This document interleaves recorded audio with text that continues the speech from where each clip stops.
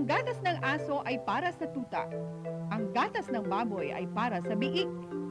Eh ang gatas ng baka, Para sa anak ko?